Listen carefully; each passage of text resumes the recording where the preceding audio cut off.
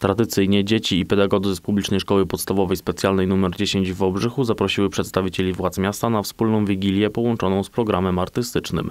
W tym roku gościem specjalnej uroczystości była przedstawicielka Rzecznika Praw Dziecka Agnieszka Rękas. Na Wigilii w Szkole Specjalnej nr 10 pojawili się zarówno obaj prezydenci miasta, jak i liczna reprezentacja Rady Miejskiej oraz delegacje służb mundurowych i wielu miejskich instytucji. Dzieci przygotowały program artystyczny z elementami teatru oraz świątecznymi piosenkami. Na uroczystości pojawić miał się Marek Michalak, rzecznik praw dziecka, ale jak się okazało w ostatniej chwili zachorował. W jego imieniu szkołę odwiedziła Agnieszka Rękas, główny konsultant do spraw prawnych Rzecznika Praw Dziecka. Z jej wypowiedzi wywnioskować można, że nie wszystkie dzieci w naszym kraju mogą liczyć na radosne święta.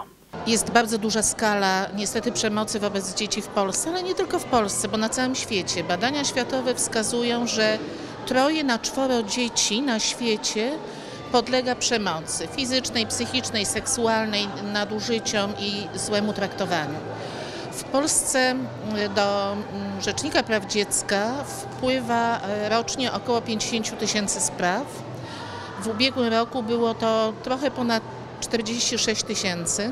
Jak przyznaje Agnieszka Rękas, nie są to sprawy przyjemne, o których chciałoby się rozmawiać przed świętami, ale należy zdać sobie sprawę z tego, że problem istnieje i należy zrobić wszystko, by temu przeciwdziałać. Jak wynika z badań, połowa Polaków nie zdaje sobie sprawy z tego, że oficjalnie obowiązuje zakaz stosowania kar cielesnych.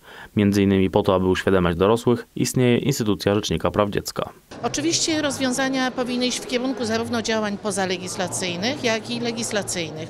Jeśli chodzi o pozalegislacyjne, to takie działania rzecznik prowadzi w edukacji, wspierania, informowania o prawach dziecka, prowadzenia kampanii społecznych na temat przeciwdziałania przemocy wobec dzieci. Zbliżające się święta powinny być czasem radości, zwłaszcza dla dzieci, którym troska i miłość należą się przez cały rok.